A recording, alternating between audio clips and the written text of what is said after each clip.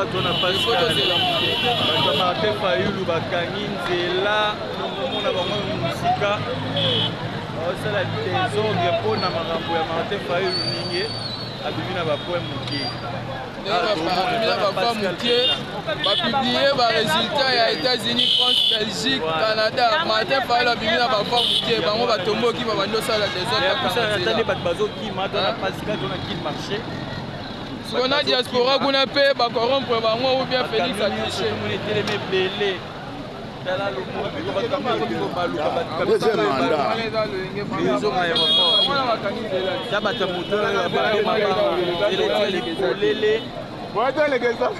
moyen olekea ete mpo bato ya marte fayulu awa batoboki mabe te bapusu tomona ta bato te baotala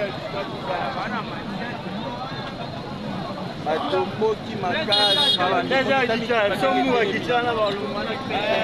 mbango mwa bakima bamoto eza pene ebele totelemi tokangami ya moya olekea te tala bato oya bamoto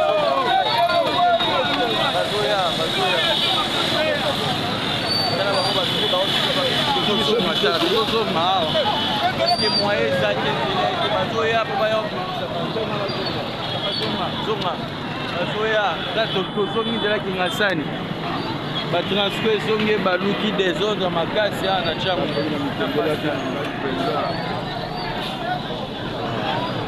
desordre makasi mituka baluki ezongi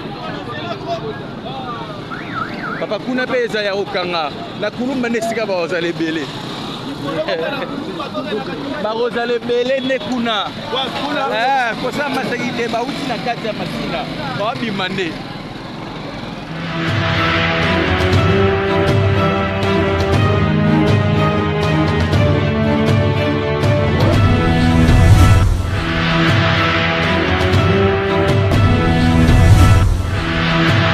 Okoyoka vote ngai, bato nyonso bakufaki na maboko na yo bakobima. Vote ngai, mboka ekokoma bwe.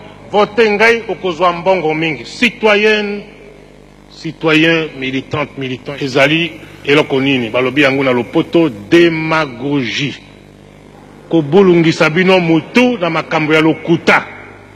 Ndenge nalobaka mikolo minso mpe tango inso na lopoto nalobaka boye, La jeunesse c'est le Zaïre de demain, la jeunesse c'est l'avenir.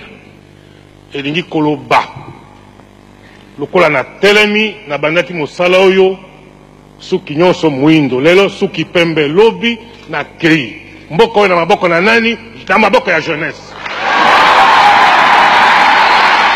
bino jeunesse botia na mutu boye na Zaire banda 1965 tolingi nini ata olali nzala ozala kimia Le Zaïre dans sa diversite elingi koloba owuti na Haut Zaïre, owuti na Kivu, owuti na Shaba, na Kasai oriental, Kasai occidental, Bandundu, Bas Zaïre, Equateur, obotama na Kinshasa, ozali nani? Ozali Zaïrois.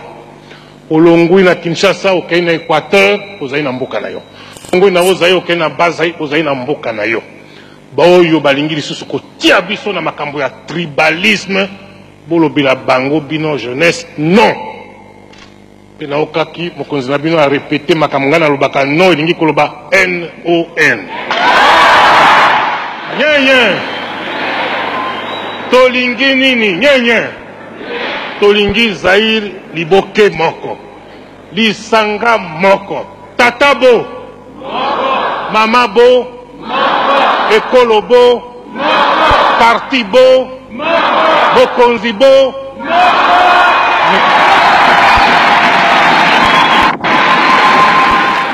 bonjour na bino bato bozwi libaku ya kolanda biso na mokolo mwa lelo na ezwi ezwi ezwi ezwi ezali bongo branche moko totya na chaine ya libération océan du congo epai oyo twaka bongo bakongomani epai oyo tosasaka, topanzaka, tobinelaka mota papa le moloto ekita ezikisa misala nyonso ya baloki ya yekolo kongo epai oyo toanalysaka ensemble epai oyo tosensibilisaka tomobilisaka toconscientisaka tosalaka éveil patriotique epai oyo tolongolaka peuple congolais na bolema epai oyo totyaka litono na nzete mpo ete tobenga yango malamu epai oyo tosalaka mosala ya jean baptiste epai oyo toyaka bango basinzili kongobetaka mbela koloba ete ntango ezali mabe toteleme biso banso mpo ete tobundela ekolo ya biso republique democratique du congo epai oyo tomokundolaka maloba ya nkoko na biso lelaborer maloba na biso bechefuye leseni place ke la mer epasse epai oyo totelema ferme fidèle lokola bakoki mpo na kozalaka lisekwa ya republique democratique du congo ezwi ezwi la monte religieuse Coco, coco, coco. Ezui, ezui, ekomela bongo mama na Jolie na Suisse. Eh, mama Dolo et pour papa mama Samuel. Ezui, ezui, ekomela bongo équipe pour la tena États-Unis d'Amérique et mana na na kunya na ngai. Ezui, ezui, ekomela bongo yanga mokonzi na Angleterre. Ezui, ezui, ekomela bongo ba programme tangola no bondia botar de bono et tana remission ko komela bino. Mamour d'Angola na mokitene Florence ya Matondo Mido et mama na biso Jacqueline Bonyoma.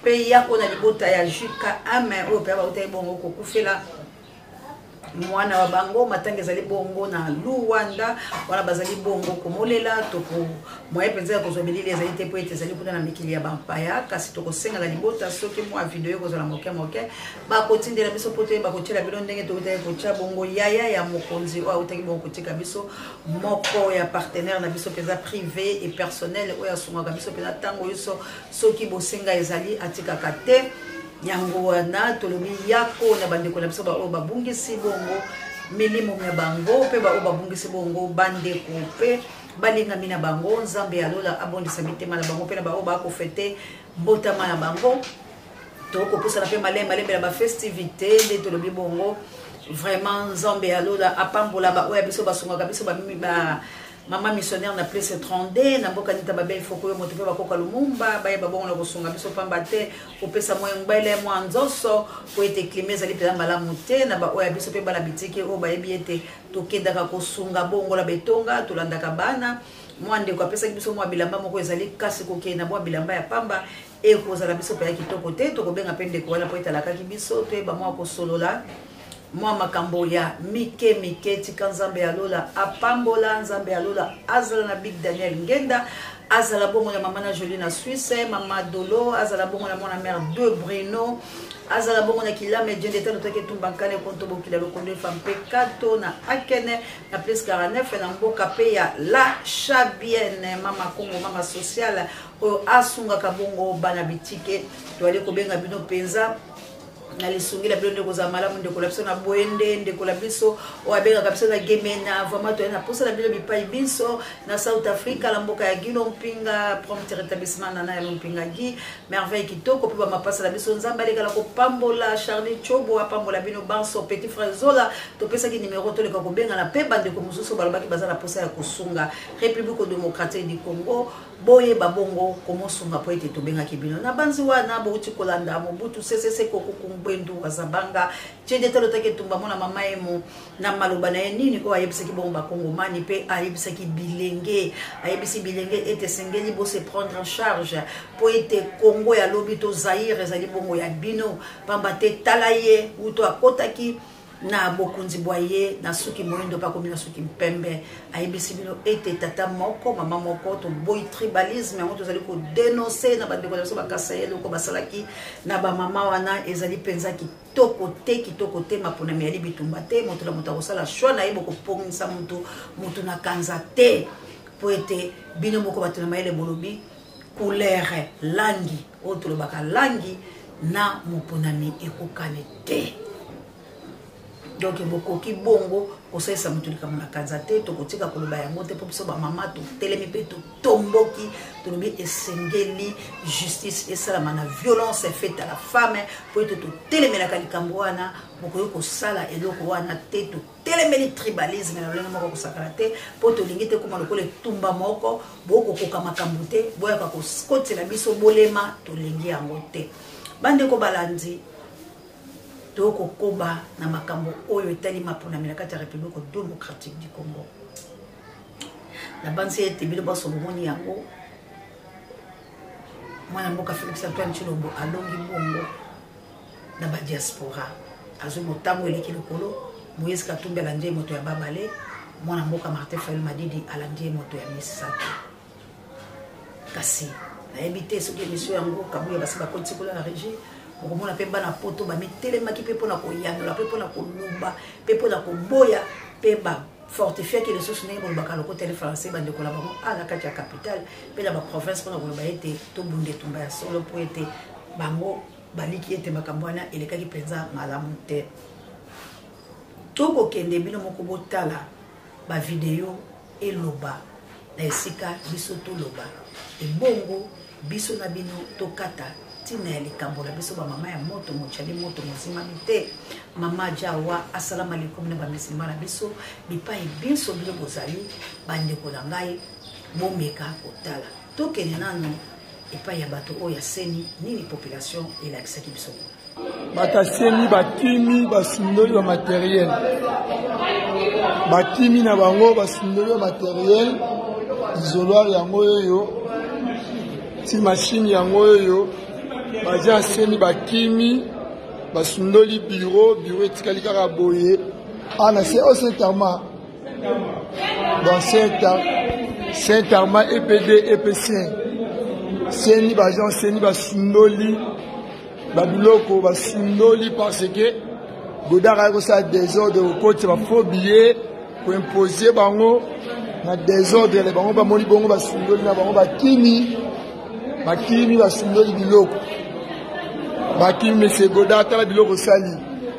ko imposer bato butu butu na bato na yo voilà que le chef de l'état sache euh, toza awa na école sainte famille toyaki euh, mpo na kozwa ba pv comme tozalaki batémoin totikali kozwa te eloko moko te toza awa toyebi te euh, tozala libéré r nini tokoka kozwa ba pv tozonga tozomona oyo oh, nyonso eza na nsima toza batémoin banda toyaki awa tozo comprendre bureau de vote oyo te donc euh, toyebi te qu'est ce qui se passe batémoin toza awa tokoti te accès epa batémoin eza te totikali kozwa bapv te jusque là eloko moko te baaffiche baresultat te donc lelo toza na troisième jour après vote yango tozodénonce yango tolobi monsieur denis kadima organisation ezalaki vraiment bien te organisation ezalaki chaotique organisation élection oyo tozodénonce yango tolobi biso batémoin toza awa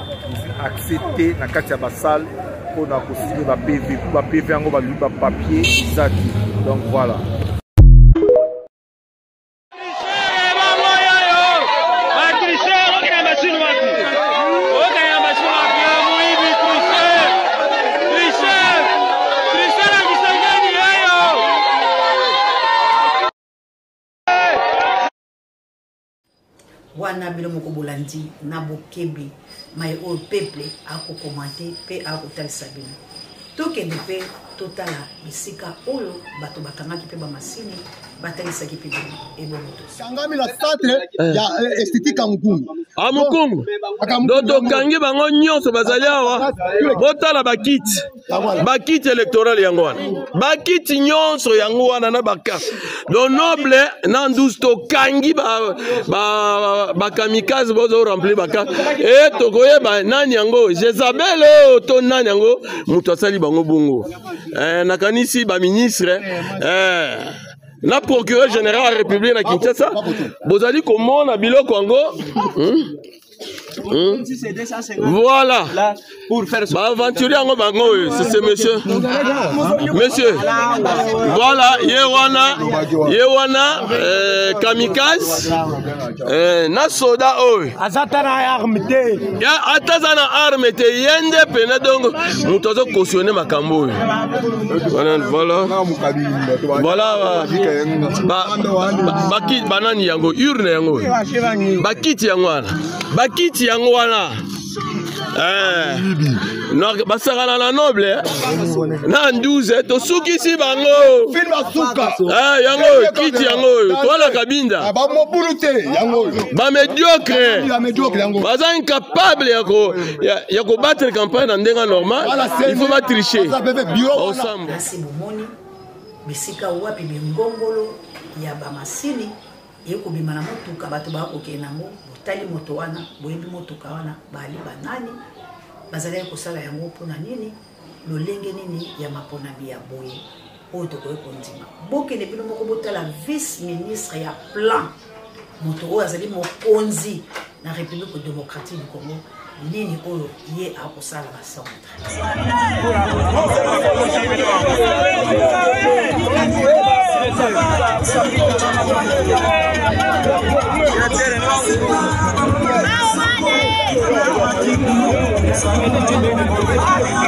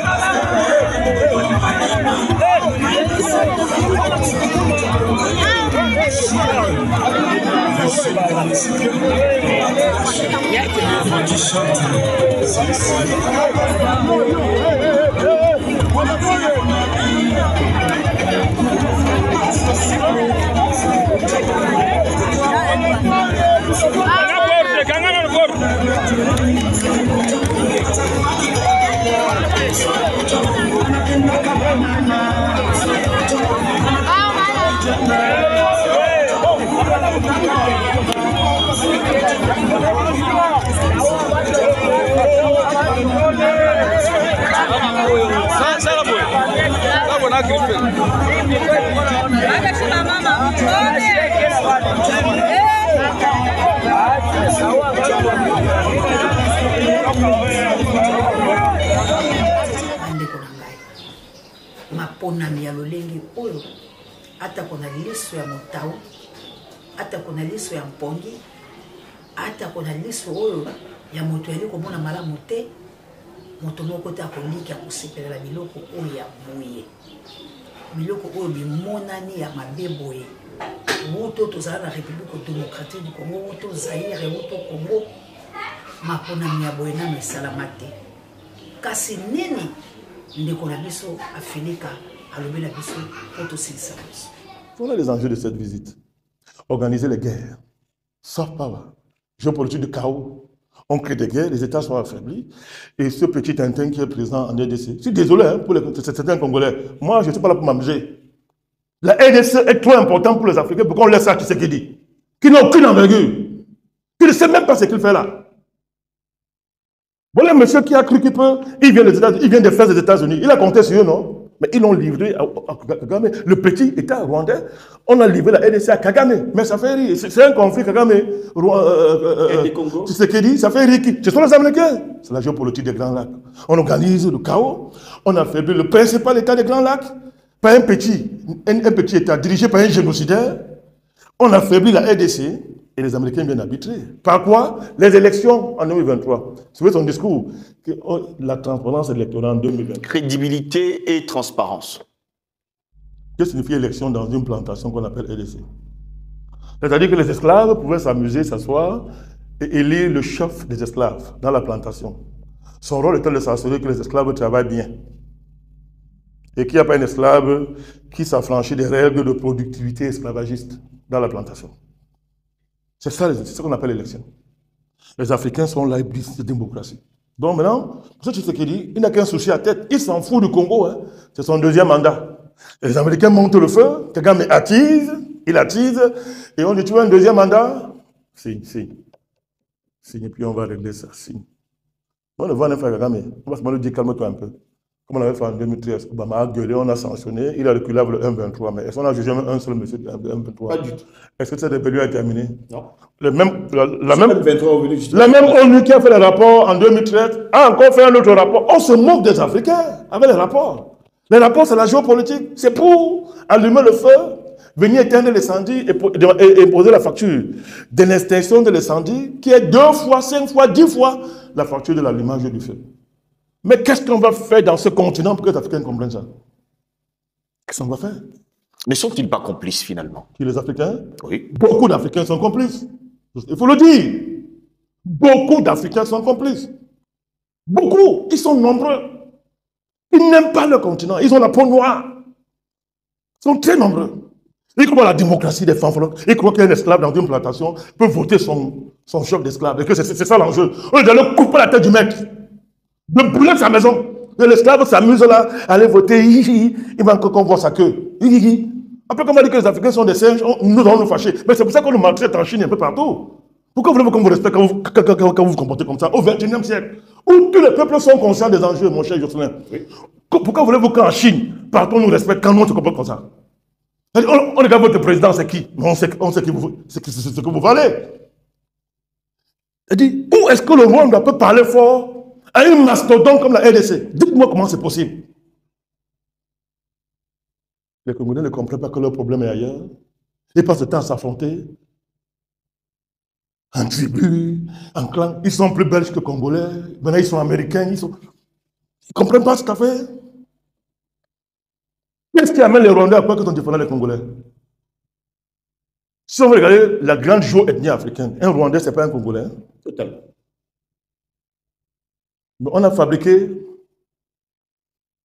une nouvelle race.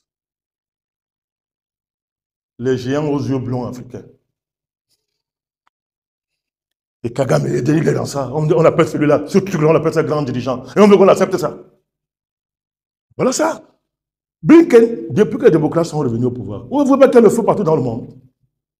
Mais, mais un peu les yeux. Mais ce sont des malades mentaux, les démocrates. Ce sont des criminels les Joe Biden, tout cela, la chose de laquelle vice-président, toutes ces racailles-là, les Macron, ce sont des criminels depuis que les démocrates arrivent au pouvoir. Le feu s'allume partout dans le monde, ce n'est pas le hasard.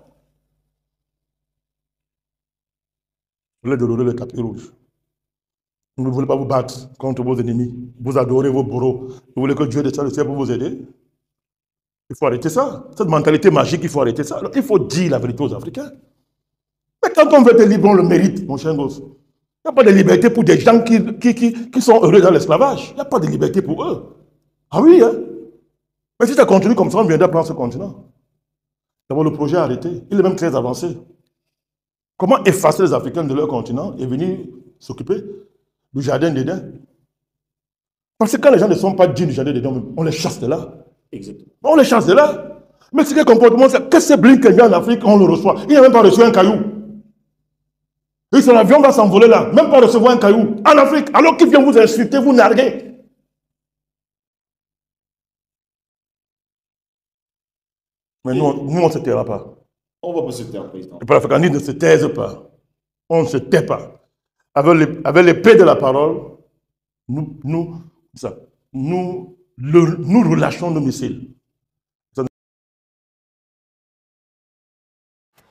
bandeko balandi tolobaki bilili eloba tolobaki kongomani aprendre conscience ndenge bolobaka lokota ya lifalanse bandeko na biso bipai biso bino bozali tokobeyela bino tokobeyela bakongomani likambo oyo ezali ekolo ya biso likambo oyo ezali te ete bato baboyi cilombo likambo oyo ezali te ete toyinana mpe epesa biso division kasi likambo oyo tokoluka nde bonsomi ya ye ekolo kongo likambo oyo tokoluka ete kongo ezonga mobimba likambo ya kongo yali ete congolais alika ete kobika malamu alia malamu azala malamu mpe biloko bya ye bitekama na lolenge ya malamu mpo ete congolais abika malamu congolais aindustrialise mboka na ye congolais abika malamu misala mizala bandeko na ngai bato bafutama malamu tozwa lotiliki ya malonga mai ya malonga Zamba na biso ezongisela biso biloko mpe biloko bya biso toteka yango na lolenge oyo elongobani.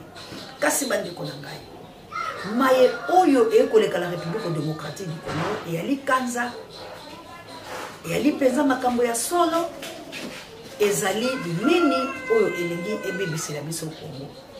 Mpe ndenge tookoloba na bino boye, basoda bazingi bwe bwe bwe bipai biso tokoki koyeba te nini ezali koleka na république démocratique du congo etumba mosusu ezali mpo ete maponami ya mabe ya 2006 biso banso tomonaki yango tozalaki kimia tomonaki lolenge ya bapolisi ya to bafabo ya lolenge oyo te tomonaki babiro ya bavote tokokende kokoto kobima kolandela ya 2011 na banze mpe ezalaki bobele lolenge moko mpo ete nazalaki awa te ya 2018 tomoni yango mapuna ya maleki na kimia tokokende tokokoto tokotala makambo nyonso mali kosalama me maponami oyo ya 2023 maponami ya mabe koluta maponami nyonso bomoni miyibi ya koyiba basanduku ya maponami kokende koponaka na bandako bomoni moto akoti alobi nalingi nimero oyo bakokota na kati ya centre kopesa moto nimero mosusu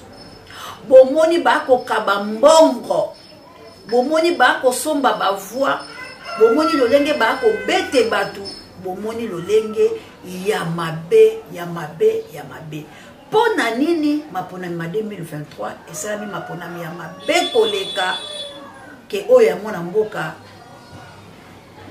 kabila joseph kabila sénateur à vie mpo na nini maponami oyo masalami mabe ya koleka mwana mboka joseph kabila kabange likambo nini oyo kabila azalaki nango ya motuya asalaki oyo mwana mboka félix antoine chilombo oyo azali congolais de père et de mère oyo toyebi mama na ye ndenge biso tolobaka mpe papa akoki kopesa ekolo ya ye kongo te mpo na nini entre guilleme moto mopaya oyo bino bolobaka joseph kabila kabange apesi quand même congo biloko ya malamu asaleli biso baelektio ya malamu maponomi ya malamu mama aja awa asalama likumu na bamizima na ngai papa mikaele na mama celestine na france maponami ya malamu papa desire botuna na mama elizabeth botuna na australie mpe papa langa jeto maponami oyo ya malamu tozwi na ntango ya mwana mboka joseph kabila kabange me boniboni maponami ya bayi kongomani eleka mabe seke ezali kobotalisa ete bakongomani nano bakoki te ete bango moko bamikamba seke etalisi biso ko esengeli bobele moto mopaya aya kokamba république démocratique du congo pamba te ntango moto mopaya akoya akosala makambo malamu nzengeleke mwana mboka mwana mboka akobomisa bandeko baye moko mpe kokotisa division na kati ya mboka na ye mwana mboka akoya kokabola mpe kozwa eloko na ye moko na kanza mpe kobebisa mpamba te maponami oyo esalami bongo na mwana mboka felix antoine chilombo me kasi tala lolenge ya maponami yango nani akondima eloko ya boye ata kozali moto na bolema nani akondima eloko ya boye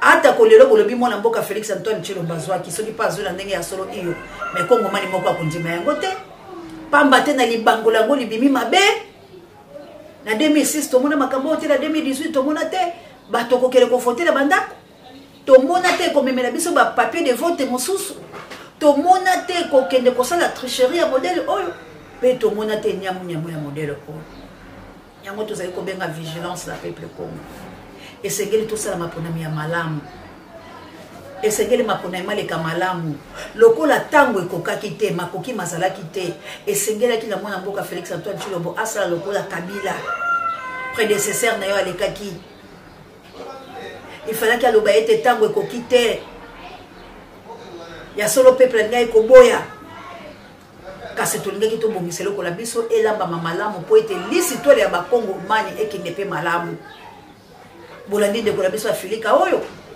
bolandi boni boni bakoyoka mpasi kasi soki baninga bapaya bali na mpasi boni boni yo moko mokolo mboka okomibebisa okomisambwisa okomizangisa limemia mpo ete bato mosusu baya kosomba likambo na yo mpe baya kobotola yo biloko bayo moko mpo ete baloba ozali na makoki nano te ya komisalela mosala na yo moko kongomani ozali wapi nini boye kongomani yo zanga komibongisa ekolo ya yo moko ozanga komibatela biloko bya yo moko lolenge ya biloko oyo eyali komema mboka na kao lolenge ya biloko oyo lobi bokozongisa bato na bisika mabe yango tozali kointerpele conscience na bino ndenge bolobaka lokota ya lifalanse botelema nayoki mwana mboka patrik muyaya molobeli monoko ya tata mokonzi mwa ekolo alobi ete bapanzi sango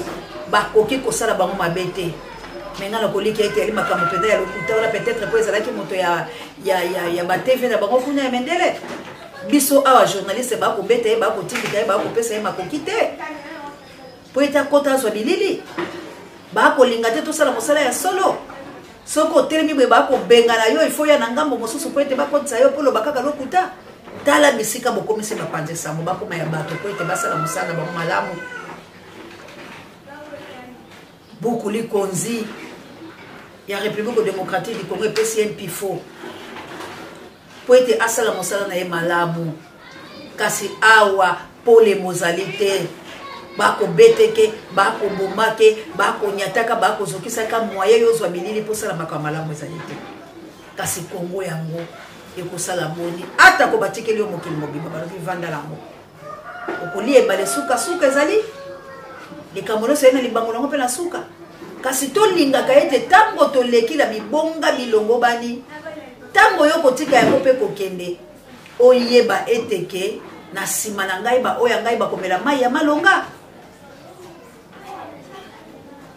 mpo soki lelo yo okei otikeli baoyo ya yo nzela nini omoniokwe bobele makila na yo omoniokwe bobele bandeko na yo ebongo lobi yo kolikia ete okozala moto tala ntina tolobi bakambi ya ye ekolo kongo tozonga bato mpe toyeba nini oyo tolingi na république démocratique du congo mpo ete mosala ya malonga esalama na bolingo mpe bomoto bwa biso maponami oyo tokolikia ete ezali maponami ya malamu te mpe kongomani moko te akondima yango mpo ekozala maponami oyo ekomema république démocratique du congo na mabe mpe ekozala maponami oyo ekomema biso na guerre civile na baguerre ethnie mpe ekoya kokabola mboka na biso mpo ete badongolo miso bato mabe baya kokoto yango biso tolobi toboyi likambo oyo tozali kosenga na bino mpenza botala likambo yango malamu mpo na koapese ndenge bino moko bolobaka tension ya bato banso mpo ete ezali maponami ya mabe maponami oyo ezali ata kitoko te ezali maponami oyo tokoki kondima te nyonso oyo president ya seni akoki kosala mpo ete ye moko ayebi ke maponami oyo esalami na precipitation maponami oyo ezali maponami ya mabe akoki ata kosalaka sommation na yango to nini te mpo ete na bosolo mpe na bomoto nakoboya trouble na kati ya république démocratique du congo nakoboya soki ya solo balingaka te makila ya bakongomani etanga soki ya solo baali na susi ya bato bakokufa mikolo na mikolo esengeli maponami oyo ye moko mwana mboka denis kadima aloba ete ezali maponami ya mabe to anile yango Tokozongela maponami oyo na mikolo mizali koya mpo ete tomibongisa soki ya solo mwana ya mboka denis kadima alingi te makila ya bakongomani ezala na moto na ye na banzi na awa de la sisi matondo makomela bongo kambo ya l'homme puissant n'échange pas l'équipe qui gagne prompt rétablissement na pape joy directeur recherche pe stratégique et pourquoi pas sango mokonzi pare ya bebiso ba biso matondo makomela bino banso baoyo bozwaki biso en direct pe en différé en chulantela na flansa Alino Boke, Monseigneur Liso ya Nkolo, Olande Noir Motobo Prêtre, Papa Alfred de la Patrie ou la mort nous vaincrons, na Canada, na mboka lipasa na ngai ino ya se ante live na mboka mama Congo, molongani ya songa nzila kimbangu ya ntungunya, bankoko totelema ingeta ingeta ingeta bana mvuluzi tosala mosala ya ye ekolo wa biso po ete bonsomi bwa biso bozala. Merci na mama Lili Saya et pourquoi pas Esther Boluka Lumpinga, merci na suprême, hein, premier LG. wana tomoni nouveau riche na biso gloire lompinga merci na gradir lompinga et pourquoi pas miradisa ya lompinga que dieu vous bénisse la servante de l'éternel christ en vie lompinga nzambe apambola bino mpona nini te directeur willi isa lompinga que dieu vous bénisse partout bozwaki biso mpenza nzambe ya lola apambola bino Tobunda etumba ya Congo na bomoko nde tokolonga. Tata moko, mama moko, ekolo moko, mokonzi moko, parti moko. Bye.